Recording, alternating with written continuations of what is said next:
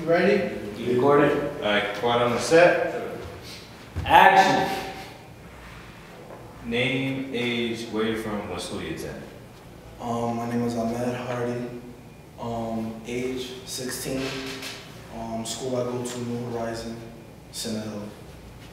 And Where you from, Reed? I'm from New Haven, Connecticut, out here. You know, living it out. All right. And when you started this program, what did you plan on getting out of it? Um, like, I already knew when I came here, I already knew like what I was getting myself into. What was it? like music, film, and like just learning stuff from people, stuff like that.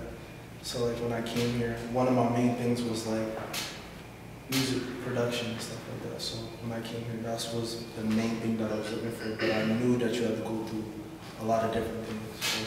Also. And you feel like you, as, as the program has progressed, you feel like you've gotten that? Yeah. Want to expand just a little?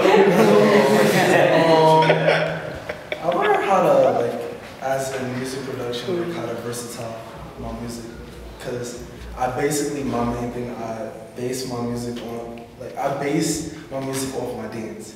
So it's like from hearing other people's beats and stuff like that, I see how they versatile.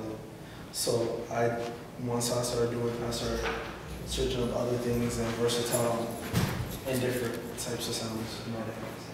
All right, thank you.